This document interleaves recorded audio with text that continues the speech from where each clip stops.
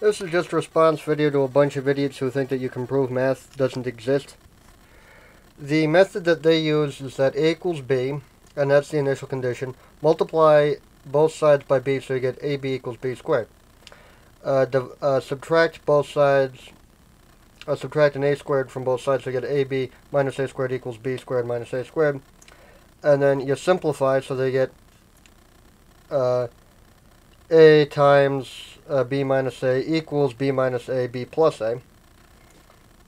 And then you divide both sides by the b minus a term, so you get a equals b plus a, and because a equals b as the initial condition, you simply replace uh, b with a, so you get a equals a plus a, or a equals 2a.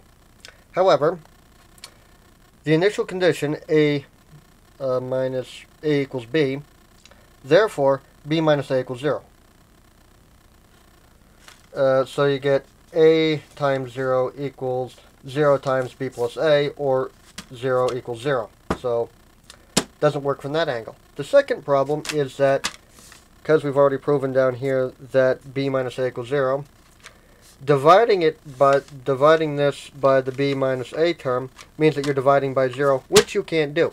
Now, if you're dumb enough to think that this actually is real, then you'd also think that the right that the uh, as at the limit of 1 over n as n approaches 0 is infinity. However, that is the right-hand limit. The left-hand limit of that is negative infinity.